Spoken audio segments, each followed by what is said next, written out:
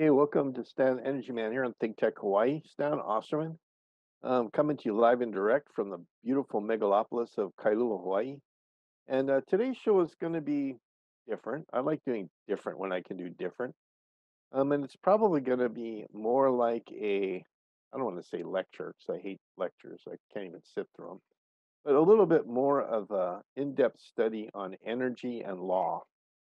And it's going to kind of wander around. So I'll, I'll just tell you that up front. But I'll start off by telling you that, you know, my background is mostly government and military. I spent 35 years in the Air Force. And I also spent six years in state government and uh, about a year and a half in county government as a police officer. So law has always been kind of important to me. And as a military officer, um, there you know, there's not very many people in the U.S. that actually serve in the military. I heard it's around 10% of the population in, in the U.S. has actually served in the military. And out of that 10%, there's probably maybe one and a half or 2% that are officers. And out of those one and a half or 2%, there's really not very many that have actually been commanders. And so a little bit of a little bit of history. This will be really short on on being a commander, commanders actually get put on a special set of orders called G series orders. And G series orders give that commander some incredible authority under the military uh, system. I mean, liter- quite literally, when you have a G series commander and he orders his people to go into combat, they have to follow the order. If not, that commander can take out his weapon and shoot the individual on his own team that's not following an order. That's how serious a G series command authority is in our mm-hmm. government. And so it's not something that commanders take lightly, and it's not something that that people that work for commanders take lightly, obviously, because it could mean their own demise if they refuse to follow an order. But one thing that's really important for a commander to understand is there's only one condition that a subordinate can refuse to obey an order that potentially comes with a penalty of death. And that is, you're not required to obey an illegal order. And that's where I'd like to start the conversation today.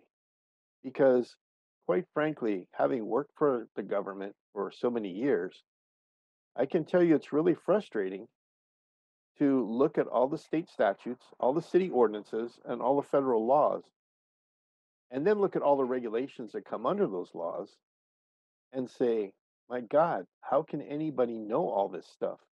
How can anybody get an order from a commander or a governor or a president and say, oh, but that's not legal unless you happen to be a pretty well read lawyer?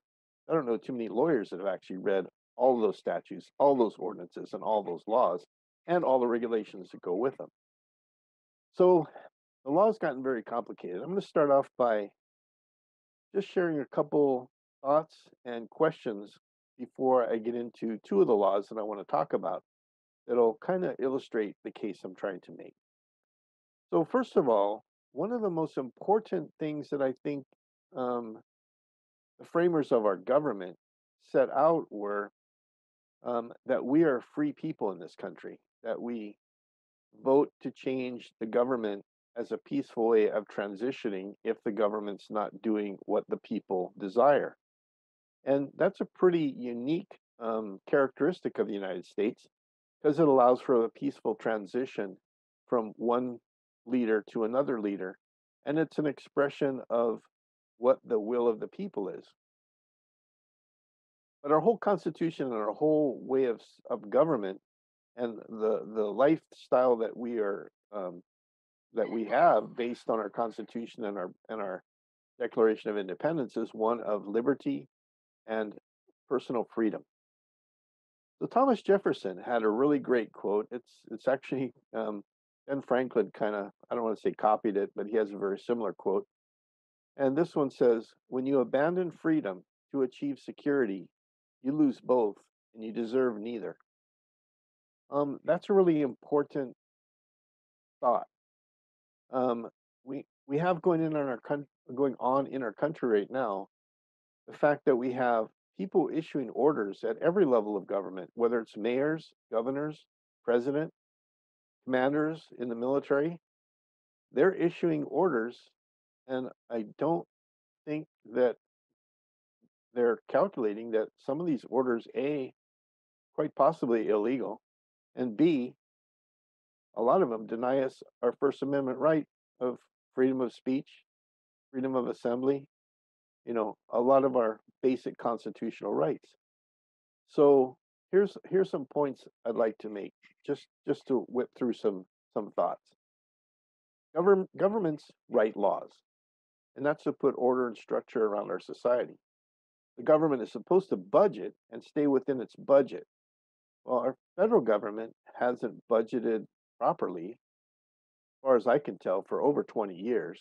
And that's how you get things like sequestration and you get um, deficit spending and you get some really dangerous stuff in terms of um, dangerous for your economy. Uh, government is supposed to appropriate sufficient money according to what they budgeted to support laws and enforce laws. So, for example, when the government right now is going through funding the Department of Defense, um, there's supposed to be a military budget that's submitted. We call it a POM, and it's only it goes in two-year cycles. And the POM is looked at by the Congress, and the Congress budgets money for it, and authorizes the military to spend that money for the things that they budgeted for. But most of our federal government and state government just don't seem to follow that very well. And if it gets down to following the money, it's pretty tough to follow the money. Another point is many of the laws that are on the books, they stay there forever, and some of them are totally obsolete.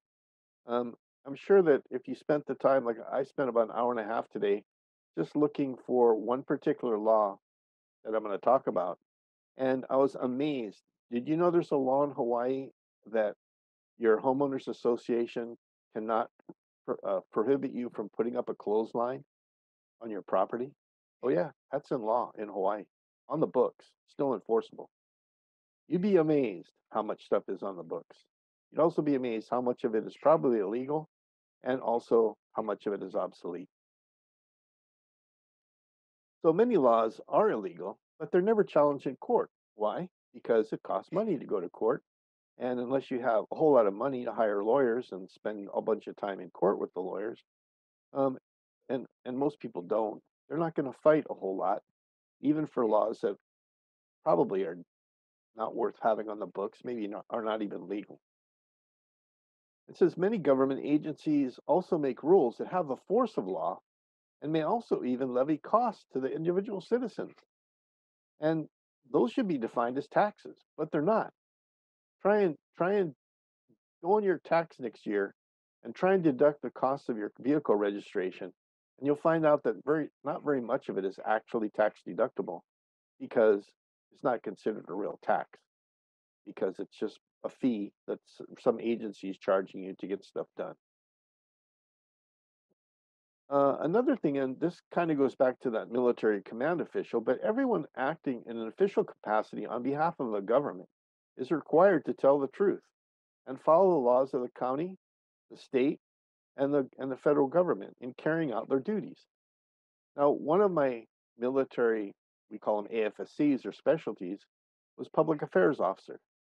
And as a public affairs officer, which is basically a military journalist or a military, you know, uh, spokesman for the for the Air Force, is that you have to tell the truth. If you don't tell the truth, you can be court-martialed um, for lying to the public about the Air Force. They drove that home really hard in the school, which is a three month school. And that's a responsibility, but it's also a responsibility for every government official to have. And we seem to be throwing around the world word lie a lot on media. I don't care whether it's left wing media, right wing media, anybody's media. The word lie seems to be popping up an awful lot when we talk about government. And I don't think that's a real healthy thing for anybody, whether you're right, wrong, left, right, doesn't matter we shouldn't have the word lie popping up uh, in, in any discussion about what we're trying to do in the government.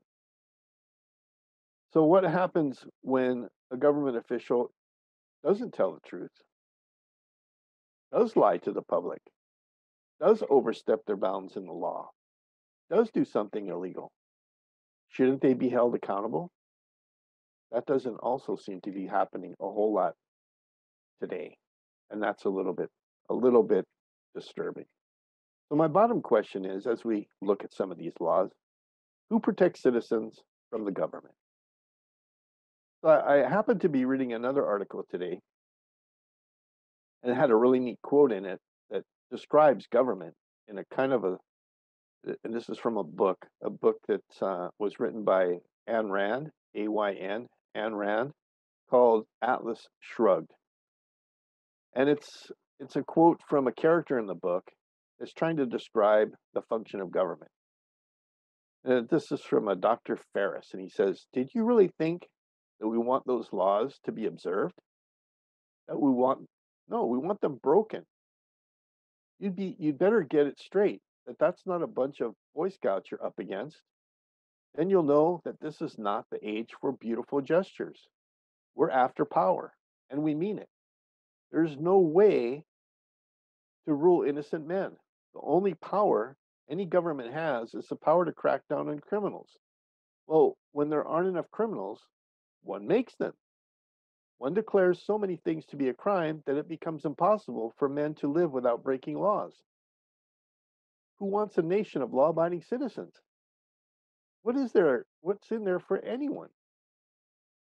Let's just pass the kind of laws that can neither be observed, nor enforced, nor objectively interpreted, and you create a nation of lawbreakers. And then you cash in on guilt, and now that's a system, Mr. Rearden.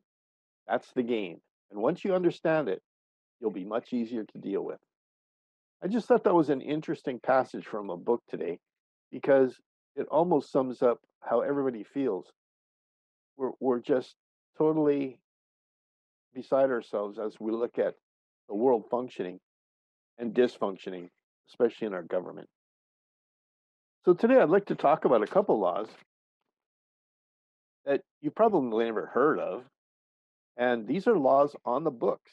And what I think is important about these laws on the books is that they're they were written number one the first one is a federal law on the federal books written by a hawaii senator actually a hawaii politician who was both a congressman and a senator over his career.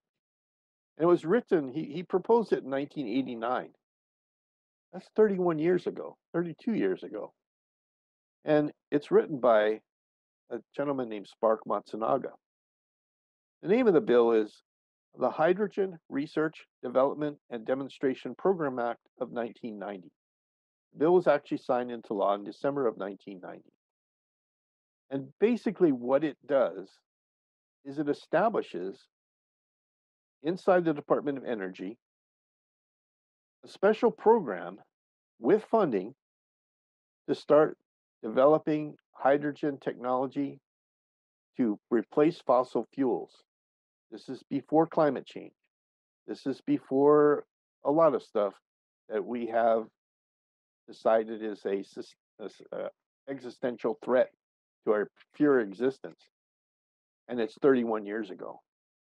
And as I look at this law, it says Congress finds that this is a national of national interest to accelerate efforts to develop domestic capability to economically produce hydrogen in quantities that will make a significant contribution towards reducing the nation's independence on conventional fuels. The purpose, as it's stated in the Act, is to direct the Secretary of Energy to come up with a five year comprehensive program and the Secretary to develop technology assessment and information transfer programs, and also to develop renewable energy resources as primary sources of energy for the production of hydrogen goes through some definitions. It goes through a whole bunch of other, you know, rigmarole that you see in laws. And then there it says under plan, the secretary shall prepare a comprehensive five-year program management plan for research and development activities, which shall be conducted over the period of no less than five years. And the secretary shall also consult the administration for NASA and the Secretary of Transportation and the Hydrogen Technology Ad- Advisory Panel established under this law, um, and the heads of other such federal agencies and such public private organizations he deems appropriate. It also requires that a report come back within 180 days. It's establishing how they're going to set this thing up. And it talks about a demonstration plan that the secretary will implement over the next four to five years to get things moving. There's a section on research, renewable energy priorities, new technologies, information, uh, and passing out information and educating the public on the safety aspects of hydrogen and the value of using it to replace fossil fuels. It has a section on demonstrations, large scale and small scale.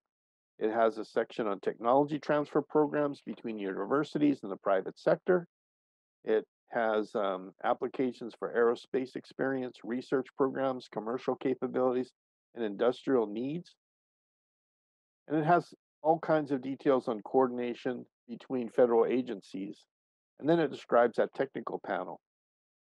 It also authorizes $3 million in 1992, $7 million for 1993, $10 million for 1994, and it presses for ongoing funding in the out years, starting in 1990. Have you ever heard of this law?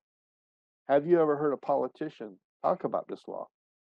Under all this climate change stuff that is apparently an existential threat to our very existence, have you heard anybody talk about this law?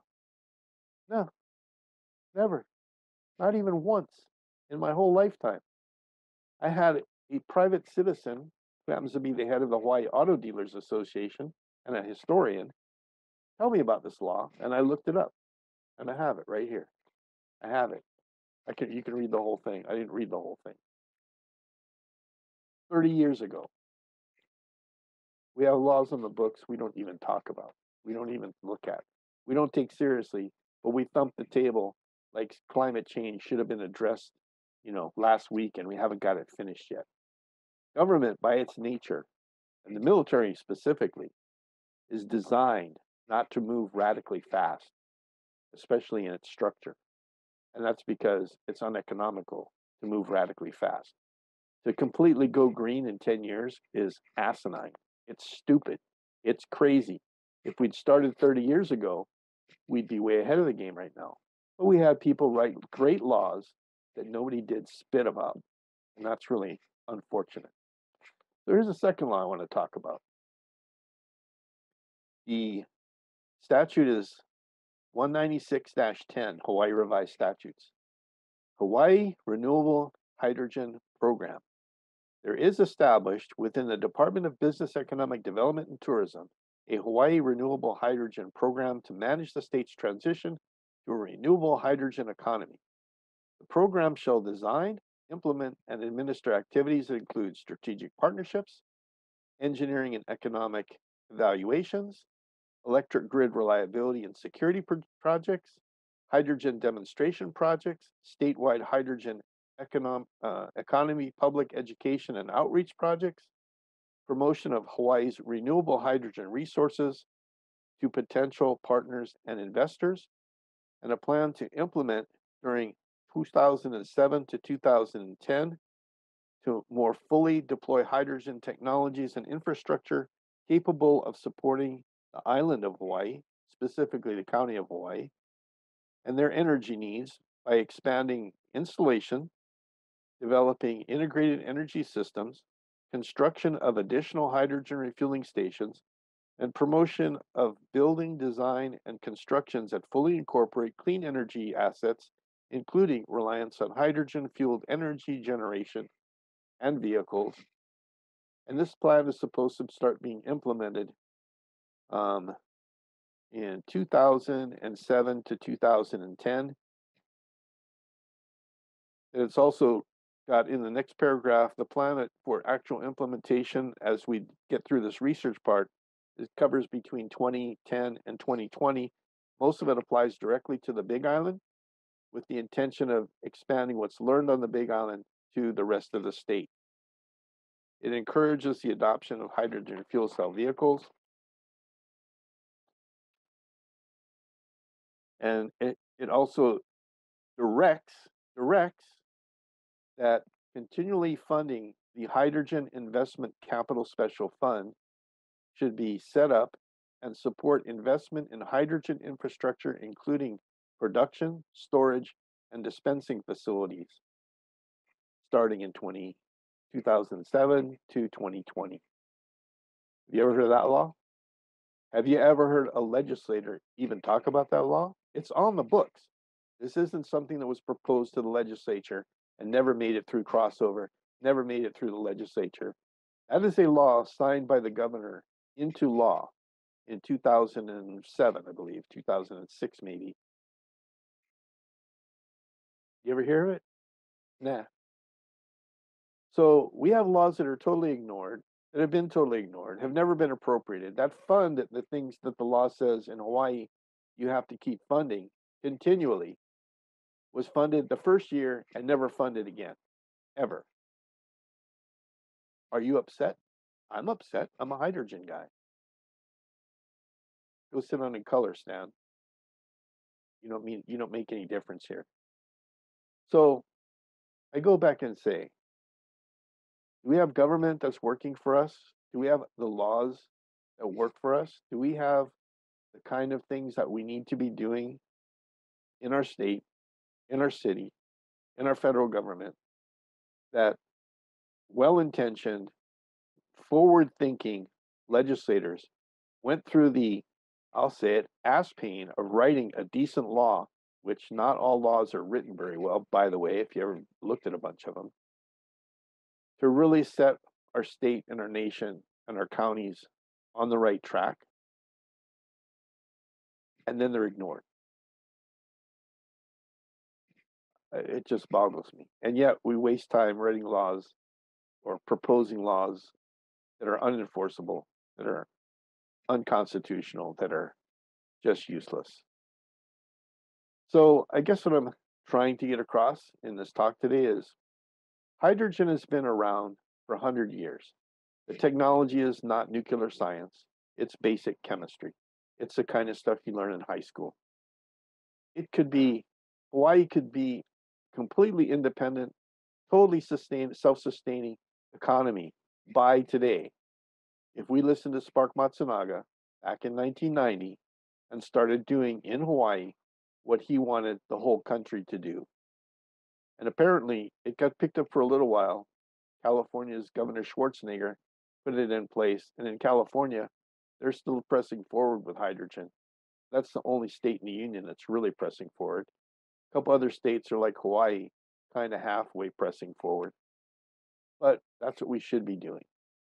So, just vented my frustration on how we're not doing stuff in hydrogen. And I want to show a short video on why we should be doing hydrogen. This video was was funded by HCAT, Hawaii Center for Advanced Transportation Technology, as a public education piece of work. Um, it won an award locally for um, for uh, the folks that put it together, and it won one of the uh, local advertising agency awards because of its quality. So, without further ado, let's roll the video. Hydrogen, the simplest element, and also the most abundant. Hydrogen makes up roughly 75% of all mass in the universe. Hydrogen also powers most of the stars in our universe. So it's only fitting that it has come to be recognized as a viable alternative energy source. And we need alternatives because fossil fuels are problematic. They're messy, dirty, expensive to obtain and not secure. And they're limited. Hydrogen, on the other hand, is everywhere. Hydrogen can be produced from a wide variety of sources, including water itself, using other renewable energies. That means it's clean, really clean. As a zero-emission fuel source, the only byproducts are water, heat, and electricity. Easily transported, hydrogen can be stored and distributed on a large scale as either gas or liquid. As a fuel, hydrogen itself is very light. In fact, hydrogen is 472 times more efficient by weight than lead-acid batteries. And it isn't just for transportation. Hydrogen can also effectively produce and store energy for power grids. Hydrogen gas is transformed into energy within a fuel cell. As hydrogen passes through a fuel cell, electrons are released and an electrical current is produced and captured for use. Electric vehicle motors, powered by hydrogen fuel cells, are twice as efficient as gas or diesel engines. They can travel farther distances than lithium batteries, especially in heavy vehicles, and can last for decades. Hydrogen-powered fuel cells are scalable to buses and commercial fleets such as trucks, trains, ships, and aircraft. Fuel cells allow for fast, easy refueling, and hydrogen can be easily adapted to current refueling stations, making it a convenient fuel source for everyone. It is a proven, safe, clean, and efficient energy source currently in use worldwide. Hydrogen is everywhere, including our clean energy future.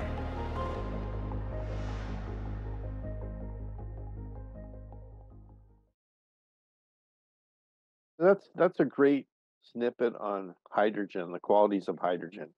There's so many aspects about hydrogen that I deal with every day, and people keep asking me, "Well, what's so special about it?" If I could put it all together in one sentence, which I can't, it basically means if you had hydrogen cars, hydrogen fuel cells for dispatchable power in communities, you restructured your grid, and use the assets that we have in the state to make hydrogen, clean hydrogen, green hydrogen, no carbon hydrogen, including geothermal, wind, solar, hydroelectric. I mean, we had all these sugar and pineapple agricultural pr- production for so many decades, and we don't use the power of that water running downhill. It's not eating up the water, it's just borrowing the water from the downhill stream to run a turbine, putting it back in the stream, and running it down to agricultural land. Why aren't we doing things like that to make electricity, baseload electricity, and make enough electricity to store in hydrogen for long term energy storage, weeks, months of energy storage? We should be able to do this. It's affordable, it's reliable, it's safe, it's proven. And keep watching Stan the Energy Man, and we'll talk more about the details of all that in the meantime, get back to where we started. When you abandon freedom to achieve your security, you lose both and deserve neither. Start thinking about the law. Start thinking about the people we elect to put in office and start thinking about your personal freedom and what it's worth to you. Because you don't appreciate it until you don't have it. And by then, it's too late.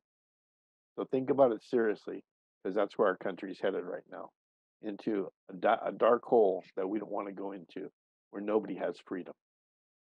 So that'll do it for this week's Stan Energy Man. Until next Tuesday, aloha.